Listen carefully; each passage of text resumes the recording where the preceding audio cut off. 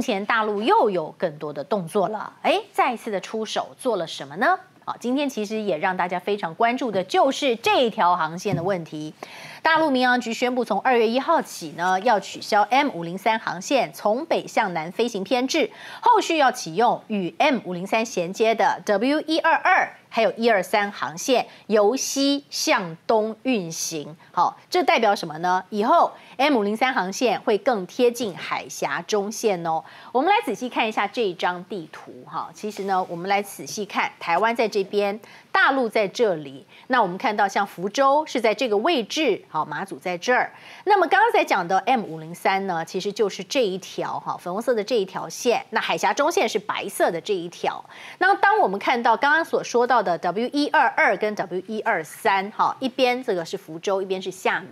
那大使，这个现在讲说可以由西往东运行，由西往东运行，要再一次的来启动。那这个代表什么呢？哦。对于交通部啊、国防部啊，现在都认为说这个就是什么？这个就是片面在改变，这是对我们的什么？是一种压力，在施压台湾。交通部民航局还说，哦，中方这样的措施哦，让我们深感遗憾，严重抗议。而国防部则说，这是单方面蛮横的做法，很容易导致紧张的局势升高，所以要北京当局负起责任来，即刻停止这样的做法。那当然更不用讲，陆委会一定是表达严正的抗议以及强烈的不满。真的是这样吗？好，我们应该要怎么样看这件事情呢？好，我们是不是应该要格外的像民进党政府所讲的，要多加的警惕？啊，或者是其实就诚如大陆的国台办发言人所说的，这个就是要缓解有关于航班的增长的压力而已呀，好像有点大惊小怪吗？大使，其实这个五零三啊，M 五零三，它基本上还是在海峡中线偏西侧了，对，那就还是尊重海峡中线这个原则嘛，比军机客气很多啦，对。军机现在已经没有什么中线原则，收掉了嘛？那它这个民航航线，它还是五零三，还是在，而且它在上海的飞航情报区里面，那不在我们台北飞航情报区里面。那所以这个就是说，它这个航线，它也得到了事实上这个国际民航组织的认可，它报备许可啊。那它这个就是说东西向东的这两条航线，一个从厦门，一个从福州嘛。嗯。然后直接，它当然就是说出来不一定飞台湾，它这个航线开了，它也可能从那边可以直接飞台湾。是。你知道我们过去我们到厦门，我们不是走，我们没有那个直接的，就所谓的这个哈，呃，这叫 W 一二二跟一二三，所以我们去厦门要飞大概将近两个小时，你知道？绕要绕要绕，我们要先往北绕，是，然后再往这边再往南下去，哎，北进入大大陆领空从。大陆这样下去，我们不能直接飞过去。其实我们过去如果飞金门的话，不到四十分钟。嗯。可是因为厦门这航线没有这个 M 一一二一二 W W 一二二哦一二二，那就花了很多时间。所以这个对民航来讲，一二三是厦门在这厦门这个地方是的，是。对，上面是福州嘛，福州接五零三。是的。对，所以这两条航线是民用航空啦。那会不会对什么军事的部分哈有产生什么啊不利的啊？其实我我们的好朋友张静啊，中华战略研究院的这个研究员，他写了篇文章，他就认为不会。他说这个过去哈，这个这一条台海中间的民航班次非常的密集啊，哎，不只是我们两岸的航空公司在飞，韩航、日航这全部都在飞。你像这个非常忙碌的航线，从来没有因为航线民航机的话，影响到我们对大陆军机。的起降，还有它的情报收集的哈影响没有，从来没有影响过。那现在它开了两个航线，我们就认为我们对将来的哈大陆军机的行动，我们就会产生怎么样？会产生延迟吗？还是他说认为不会？他说我们的我们军方的这个情收侦察力没有那么差，所以他觉得既然这个都是已经就是是世界民航组织啊已经合可的航线。我们站这个角度上哈去抗议的话，事实上哈，那人家会觉得我们有一点故意生事的感觉啦。嗯。那另外呢，这个是海峡，如果今天它这个航线画在哪里？画在海峡中线以以以东，哎，那那我觉得就蔡英文他们可能还有更有说辞啦。嗯。那问题就变就他在以西啊，然后另外一方面就是说。这个唯一的，我觉得民进党政府认为说，你在那边画航线，事先怎么没跟我商量？就是这一点。而且我觉得陆委会那个哈，呃，说要保留这个哈相对的措施嘛，那措施非常的强硬啊。是。那我不晓得他要采取什么样的一种相对应的不友好的措施。那是怎么样？是停两岸的班机吗？啊，对啊，会不会做这些呢？还是说将来这个我们的国航，我们的这个比如说华航、长荣不能飞这个 W，呃，一二二跟一二三，那人家东航可以飞的话，这个中国国中国民航可以飞的话，谁要去花一个小时飞到厦门啊？对不对？那你这个你这个你这个长荣跟跟这个华航这个班次，你就没有人会坐，所以我也不晓得民进党做这么大的这个反应哈。还有他用什么措施来表达他的不满啦？那我是觉得是有一点点反应过度了。好，那原之怎么看呢？因为我们其实看到陆委会确实有表达严正的抗议，还强烈的不满，要中方立刻停止不负责任的飞航行动，说没有经过两岸沟通就启用这个航路，哈，是罔顾飞安啊，完全不尊重台湾，而且还强调说是用民航包装对台政治乃至军事的不当企图，哎，并且有改变台海现状的疑虑。现在是在怕什么？怕说现在只是民航的客机，好，接下来如果说真的这样子飞，飞的是军机的话，那我们就无力来怎么样？无力接招吗？对，那政府要拿出办法嘛？那你不是说只是在那边发声明啊，说表示说什么要要沟通要沟通，你之前也没有跟人家沟通嘛？所以如果这个政府这么好做的话，那大家都可以做了。现在就是说，你的你到底你的沟通管道到底是什么？其实啊，就没有嘛。所以所以这个这个的这个五零三这个航线其实。他这样做，刚刚叫大使讲说，其实可可能没有什么实质实质的危危害或影响，但是关键就是他在政治上意义，就是说这个海峡中线就实质被取消了嘛。嗯。所以过去两岸关系不错的时候，其实大家都有善意，所以有一些模糊地带，大家有一个默契，所以有个海峡中中线存在。嗯。可是当两岸就民进党开始抗中保台要搞对抗的时候，那没有善意，那就没有模糊空间了。没有模糊空间，就是之前讲了一些可能海峡中线那就消失了嘛。那从什么时候开始？就是从。从佩洛西来台湾不是吗？当时佩洛西来台湾，民进党一直奉为说，哎，这是一个很棒的一个外交突破。然后老那时候对岸就宣布说要在台湾做七个地方的环台军演。嗯，那民进党政府如果认为抗中保台是一个好的路线，你你当时应该展现出来你对台湾的保护吧？我我并我看不到，当时他只是说，哎，有七个地方被军演哦，呼吁。呼吁国人要趋吉避凶哦，你不要从那边出口，不要从那边离开。所以你你你你怎么会这样子叫我们？你应该保护我们啊！你怎么只是只是说叫我们避开？那具体做法是什么呢？没有。然后那时候比较荒谬的是说那个飞弹有没有？有经过我们的上空嘛？是啊，没不知道。然后是被日本公布嘛？对。被日本公布之后才才被追认说哦有有有不是不是那是外太空。然后结果他说哦外太空不要公布是不是？就这次在选前，哎，选前的时候卫星打到外太空，马上国家级警报出来。那所以你的标准到底是什么？就是很很莫名其妙变来变去的。嗯。所以这这个这个部分我觉得它其实还凸显另外一个点，就是说其实我们以前没有想到说哎。中共如果说他要用这个，有人说是叫做灰色灰色战争嘛，就是用一些手段啊。是。你如果跟我没有善意的话，其实我有很多工具来对付你。嗯。那其实这个我以前没有想到，他在过去有善意的时候是可以做得到，但是现在如果没有善意，他可以这样子，他可以用这种方式来来来，不不是胁迫，或者是说他就是不不让你了，就是你以前跟我沟通，我愿意退一步。可是既然你你没有善意，那我也不觉得我要退一步。他其实有很多做法可以。可以用这种方式来回馈我们，那其实这对台湾是很不利，所以我我们一直主张说，陆委会你不要每次只要发生事情，只会呛啊，只会呛，没有用，嗯，没有用，不尊重我们，怎么可以不先跟我们沟通呢？你为什么一定要跟你这个不友善的沟通？你要有善意嘛，你自己要善意，你要跟他沟通啊。是，然后再来就是我们没有国际组织，像这种是跟民航关系有关的，你应该要透过国际民航组织协调。马英九时代我们有加入啊，对后来我们也退出了，就是民进党害的，民进党害的，所以。只会呛，然后没有具体做法，那这种政府真的没有什么用。对啊，而且事实上哈，对于大陆来讲，就是说合情合理啊，而且也没有不符合国际这个规定啊。好，你看大陆国台办发言人不就讲，是要缓解相关地区航班增加的压力，这有利于改善两岸航班的营运。设立跟启用 M 五零三航路是大陆民航空域管理的常规工作，干嘛要跟你台湾协商？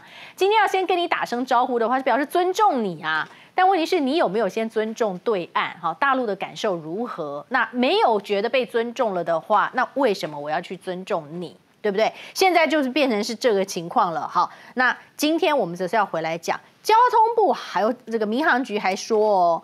中方的措施跟二零一五年启动这个航路的时候，双方当时沟通的结果是明显有差距的，有明显有差距的，所以呢就深感遗憾，要抗议。对呀，那这个又要回到当马英九当时了。对呀，确实是如此啊。那那时候两岸关系就是比较好，所以呢，杨明就比较能够谈嘛。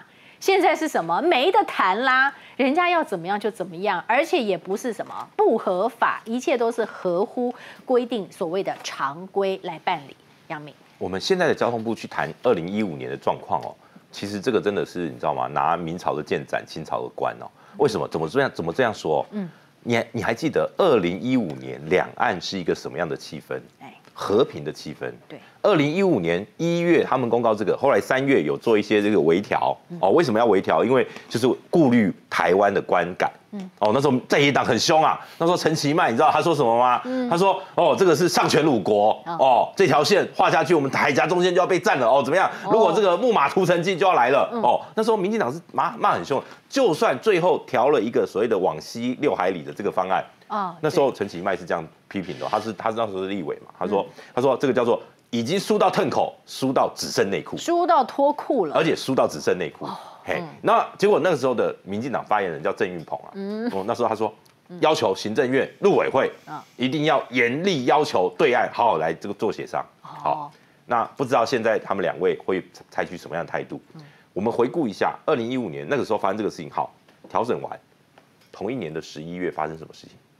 马习会，两岸领导人还会面了，嗯，哦，好，那当然后来政党轮替，哦，整个两岸的关系形势改变。二零一八年，这这这条航路就已经做了初步调整了。那距距离我们现在，我们再去讲海峡中线这个概念，嗯，逻辑错乱，为什么？现在海峡中线叫做无中线呐？对呀。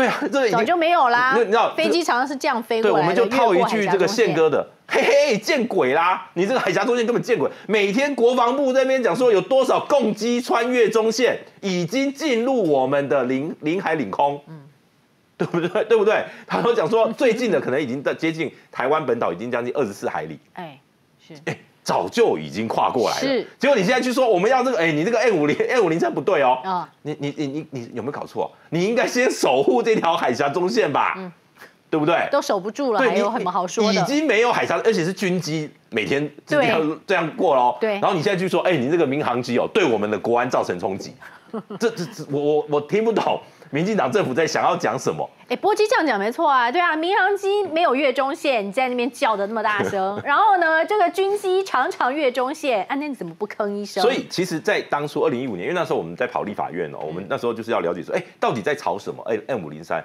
其实很简单，就是对岸他们的民航，因为他们慢慢的这个国内航线越来越多人搭了，哦，那他们整个这个航航班哦，尤其在他们的东南部。就是说，呃，为什么南方的这个飞机场哦，准点率都比较低。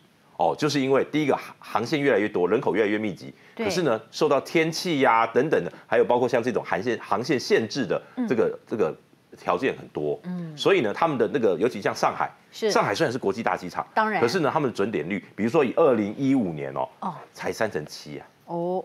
不到四成啊，嗯，现在应该改善很多吧？到了我讲，因为这个 M 零三那个时候启动，到了二零一七年，他们已经到七成了。哦哦，所以所以你说你说有没有帮助？有，这个对中国大陆他们内部的这个所谓的呃民航的这个这个呃路线，这就好比说开了一条高速公路了，哎，新的高速公路，然后呢三个交流道，哦，这个会上来，就是说从这个东山哦，这个福州、厦门，就他就有办法去舒缓这些所谓的。空运的这个这个路线啦，那这个对中国大陆，他对中国大陆的官方来说，他们这个他认为这个叫做本国事务。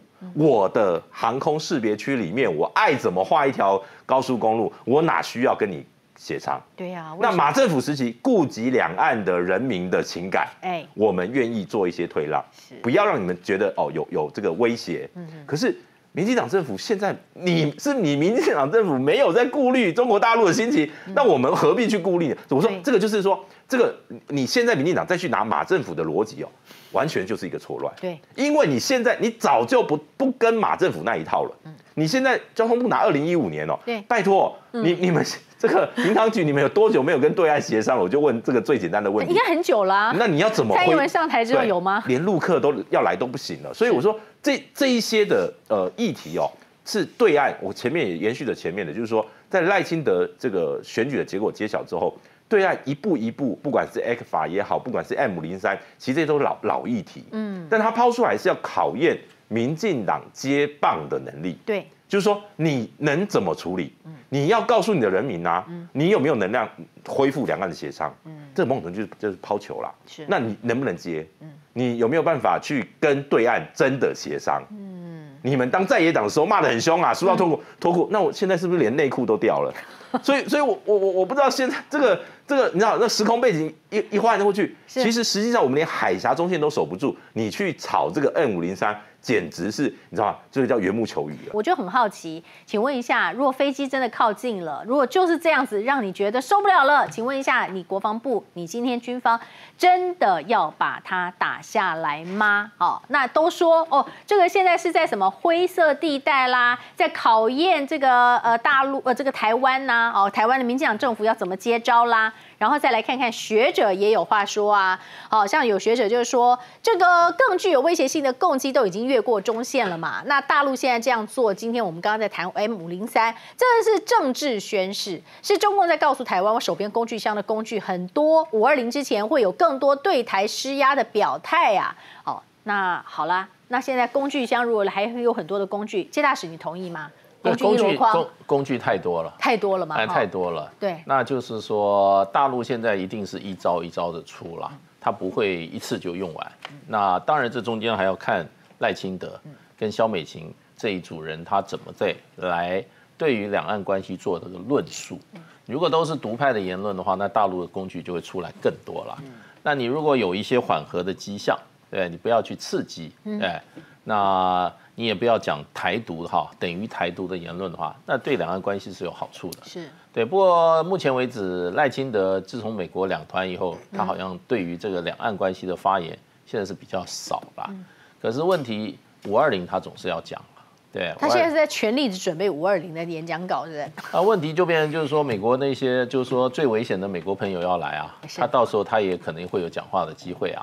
对，而且到目前像这个像这个中国大陆画设 W 一二一二三这个航线的事情，他们没有讲话嘛，就是下面的小喽啰在那边发声，在那边叫骂嘛。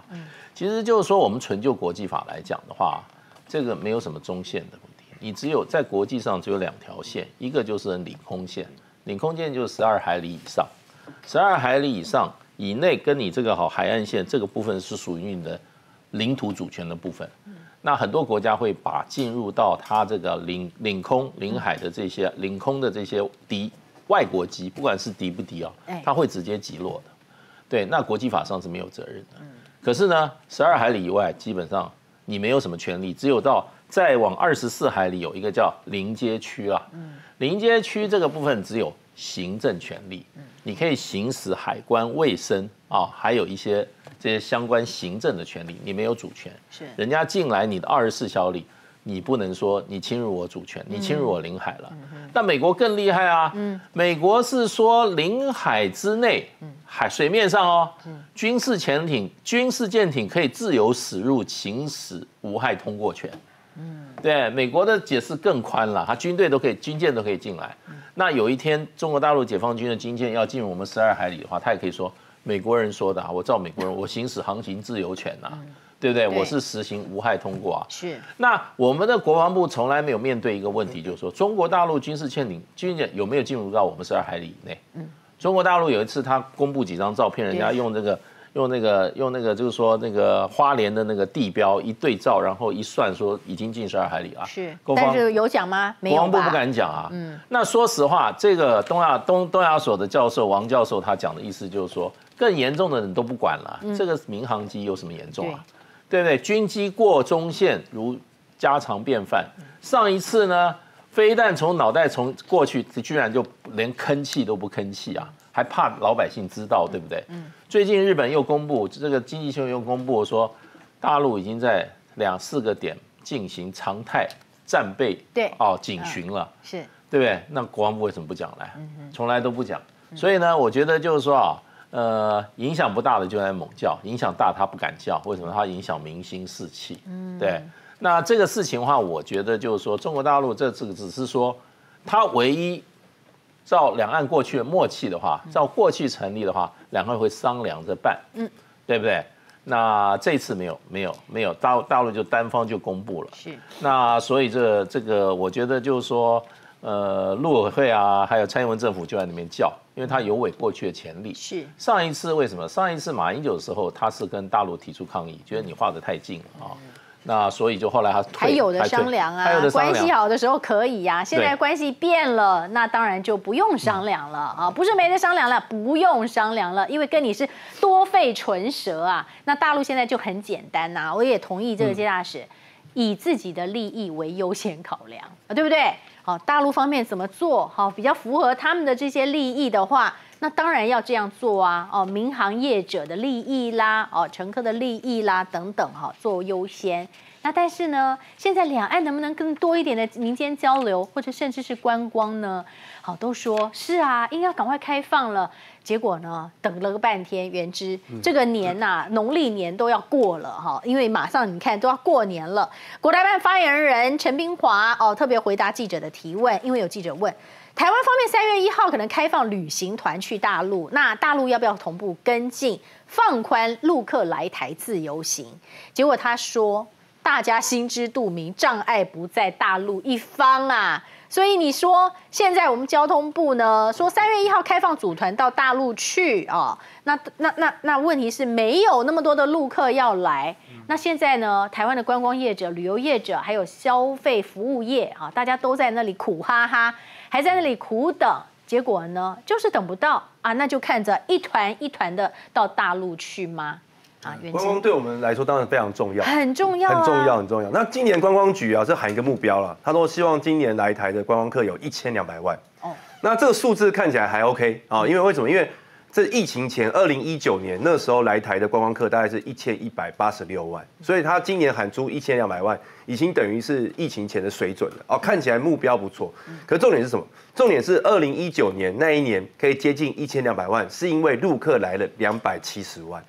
所以今年如果说你对陆客限制这么多，陆客没有来的话，那你能不能达到一千两百万的目标？我打一个很大问号。我觉得很可能就是在那边空口说白话。是，而且今年的观光还有一个问题哦，就是台湾过去很多日本客喜欢来台湾嘛，对不对？对。但今年日本客来台湾，大家观光业的估计是会减少的。为什么？因为去年就少了。去年就少了嘛。对。然后再来就是它日币贬值嘛，然后。日日本现在也不太景气，然后它的航空业也有点状况，所以日本客会不会来这么多不知道。是。那日本客来这么多不知道，入客又限制这么多。是啊。你要达到一千两百万，你你你是随便讲讲哦，你你你可能开空头支票而已嘛，你可能就是说，在那个蔡英文要卸任前，不能给蔡英文太难堪，所以数字不能太难看。否则的话，万一万一达不到，那你这个观光局长是不是要下台？哎，是不是要有有有人负责？反正他们碰红门也是家常便饭哈，这个大家也听习惯了，是不是？对啊，但我是我这我这不解，就是说，民进党每次真的都用意识形态在处理这个陆客的问题。你看他现在，其实他对于就是说开放台湾人去去大陆啊，他也不是他也心不甘情不愿，然后开放陆客来台湾也是心不甘情不愿，嗯，所以他有一个两千人的限制。那他现在不是说他说让我们。可以组团去大陆，大概两千人嘛。我他当初啊，现在是说对呀，每日两千人次就引起争议。每日两千人，对这个我当时啊，其实其实他的政策也是被侯友谊逼出来的。哦，是因为侯友谊那时候说要开放大陆陆客来台嘛，然后然后陆委会才赶快就是趁侯侯友谊公布前，赶快开开宣布这个开放的政策。可是当时我就问过旅行业者，旅行业者说这个不可行啊。是，你这两千人你要你要怎么管控？对，台湾有四千家旅行社都在做这个生意，那你这两千是怎么分配？是跟民进党少了？对啊，太第一个太少了啊。第二个是第二是谁几个名额谁决定？是跟民进党关系好的旅行社多一点名额吗？然后还是怎么样？这名额到时候拿来卖吗？也会衍生出很多弊端呢。然后我觉得最好笑就是民进党政府呢，他他说要对等原则。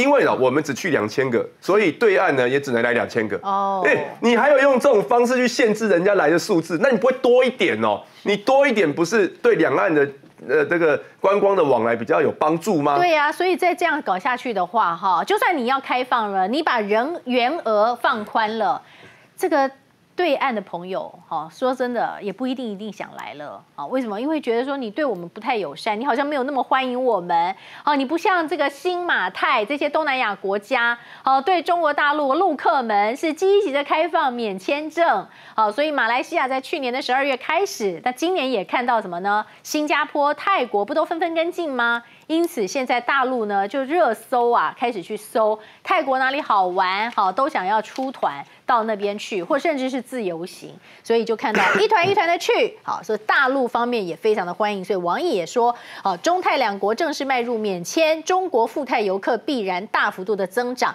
这话让泰国方面听得好开心。但现在看看台北灯会，好，台北灯会要登场了，波基，我们也知道这是一年一度，哈，一年一度，但是怎么现在两岸关系的气氛不好的情况之下？原来啊，这个大陆方面哦，这个对于来参加这件事情，好像也都没有那么热衷积极了。台北市长蒋万安日前已经说，按照往例邀上海代表团来参加哦。陆委会当时说，只要是合于法规都欢迎。但是现在你看到哦，这一次呢，上海方面决定降级派员，之前是来副主任，现在就派什么？派三个处长来参加，觉得这样也就交代过去了。怎么会这样呢？波基？不过我我想这种官方的到底层级怎么样？我觉得到呃这个就是所谓的双城论坛的层级，他们要去谈谈的啦。嗯，因为毕竟台北跟上海他们是因为有双城论坛这个平台，才会有所谓的互动。为什么台北灯节要邀上海的都有固定一个摊位？即便是柯文哲当市长，都有这样的一个互动模式。所以这个是一个长期合作。那如果因为赖清德当总统，那个上海那边觉得哦，我们降低层级，避免。这个引发这个什么争争端啊，或者说不要让变成说被民进党政府拿来操作啊，也许有这样的一个考量。这个我可以补充一下，因为在去年我特别还去跑了一趟，去看看上海灯区。对，结果呢是不在主灯区，没错没错，远远的跑到中校中校敦化捷运站。对，然后对于这个陈晓东先生呢，哦，其实其实态度我觉得也蛮怠慢的，呃，并没有非常的礼遇的感觉哦。应该说，因为大选年啦。你这个就是所有政治人物哦，碰到这个两岸议题，你毕竟民进党太敏感了，民进党会操作抗中啦。如果你把它摆好一点，他说你亲中哦，你国民党又亲中，所以现在很麻烦的就是说，在现在哦，民进党执政，你看连一个这个流亡海外流亡的人士来到台湾哦，讲了这个民进党政府不对的事情，都要被限制出限制入境啊。你看都就是我们现在的这种管控方式，会让对岸的。我我觉得官方层级就算了，是我们最担心的是什么？就算未来即便对岸开放他们的这个民人民来到台湾旅游的话，他们不想来，是他们会觉得我刚刚讲啊，我我来了，我动辄得救啊，对哦，我来这边我会不会哎讲两句话哎被你们民进党政府抓去约谈，就会不会怎么样？然后动不动就遣返，然后呢从此你就不得不可以再来了哦，所以这种不确定性就会让很多人。对观光旅游，它会有却步。嗯，就好比说，好比说，比如说这个同样是我们呃台湾跟泰国，哦，同样的也是泰国，也是去年底才宣布给台湾目前有一个免签的这个优惠。它是有一个到今年对，就半年到今年五月底。对。可是呢，你要知道，就你知道，呃，这个我们的社会新闻、社会事件里面哦，就发现有很多诈骗集团就用利用这个免签，嗯，把人带去这个中中转到诈骗集团的那个所谓的呃泰缅边境。那你你你你你不得不说，哎，这很聪明啊，就是很会利用这种官方提供的优惠去做这样的这个这个作奸犯科。但这是台湾的模式，可是中国跟泰国可能就状况就完全不一样了。因为中国大陆跟泰国，你要知道东南亚哦，我看到非常多中国大陆的游客都往东南亚，尤其在疫情过后，对哦，那其实很多东南亚也乐于去中国大陆旅游。为什么？有一个很重要就是，呃，当然在物价通膨这些状况下。东南亚其实相对来讲是平价的旅游选择啦，那所以这种叫互利，对。哦，就是我也需要观光赚观光财，那你也需要，那我们就互相哦，让人民花费这个签证费全部减下来，我们政府少收一点，但是互相互利的这种事情是是正面的。那关键就在于说，我们台湾要不要赚？我们以前都讲，哎，王国才不是讲说去年的目标是多少多少百多少万多少百万的这个观光客达标了吗？没有吧？没有吧？六百万嘛？对他不是说要一百万的陆客吗？没有吧？没有吧？没有吧？所以，哎，未来在国会里面，呃，王国才还没下台，他五二零可能会下台，但是呢，在未来新国会明天开始，嗯，一定要把王国才找找找过去啊。是。去年你不是说你的这个定下的目标是多少万的游客没有达到，你要。怎么负责？今年说要一千两百万，哇，这是要怎么达标？我我真的很好奇。好，六百万说哦人数达成，但是我跟大家说，我自己在机场都有看到很多是什么来自于东南亚的，没有错。可是他们很多都，他们可以拿补贴，嗯，好，他们可以来拿这个。算是我们纳税人的钱，好给他们的旅游补贴、旅游津贴。台湾那个外国人入境台湾，他们可以按一个那个就可以有抽那个旅游金。对，就是这样，好方便呐。但是这个是这样换取而来的，可是呢，嗯，现在看好吧，那我们就来看看到底你要怎么达标哈？这个民进党政府。不过请教一下这个介大使。现在邱毅人哈，他是台湾日本关系协会的前任会长，他应邀座谈的时候呢，他现在讲的这一番话，他说什么啊？他说，民进党不承认一中原则的九二共识，但大陆把它当做对话的先决条件嘛，所以未来赖政府要跟大陆对话，恐怕是很困难的。现在跟大陆交流，或许能采取民间团体接触等非政府部门交流的方式。哎，他讲了一句大实话耶。那就对呀，明摆的就是你民党政府，就算赖清德上任，不要九二共识的话，就没有对话。可是民间团体的接触能够有什么效果？有可能吗？因为我真的蛮担心的，会不会又是啊要被查水表，又要被约谈？谢大使。对啊，民间他前民间团体就是偏绿的民间团体吧，是他们的附水组织吧？他想的意思，他这样说，大概也要找几个绿绿，就是说这个哈，这个这个。呃，首套单位嘛，哦，哎，去跟中国大陆进行沟通啊。嗯，现在我觉得，不过这个问题关键就是中国大陆要不要跟他们这些台独啊、台独分子接触了，因为大陆定调嘛。嗯，在这个赖清德他们就是台独嘛。是。那台独不要说接触了，台独跟和平都水火不容啊，还有什么好接触的呢？所以我觉得邱毅文这是一厢情愿的啦。那过去也有也有白手套单位啊，你比如说海基会、海协会啊，不是照样停摆吗？是啊，对不对？你派谁做那个董事长、做秘书长都没用啊，通通停摆啊。所以我觉得中国大陆那个原则性是很强的，你不接受九二共识，对不对？你就是 你就是就是没有没有完成答题嘛。对，答题没有通过的话，就是维持过去蔡英文那样子的八年，对不对？可是问题，现在中国大陆对于赖清德的定调，比对赖比对蔡英文严苛的多了。嗯，对，你还想要赖清蔡英文的方式，还维持两岸这个局面就很困难了。我最近试了一个东西，真的很有用啊，所以要分享给大家，那就是太阳星全效克菲尔益生菌。哦，吃了两三天，真的有明显的感觉。最主要就是睡眠的品质变好喽。那你知道这个睡得好呢，整个人工作就可以更加的专注，当然情绪也就变得更好了。因为太阳星全效克菲尔益生菌，我才认识了这个克菲尔益生菌。它是由多支菌种益生菌所组合而成的。不但是能够维护消化道机能的正常运作，而且呢还有多种有益健康的保健功能，非常的强大。有台大教授专门研究它，把它叫做神仙的礼物。而您知道吗？有上千篇国际研究证实，克菲尔益生菌不仅是帮助肠道健康，肠道菌透过肠脑轴影响全身的器官，所以维持肠道菌种的平衡，这是解锁身体健康、精神健康的钥匙。对于帮助睡眠、维持好情绪，真的是很有感。也因为这不是药，有季节敏感、代谢困扰、关心恶性细胞风险的好朋友们，选择太阳星全效克菲尔益生菌，做好日常的保养，身体轻轻松松，没有负担。每日克菲尔，时刻美好，Good feel feel good，请上快点购为健康下单，也记得输入推荐码，有额外的折扣哦。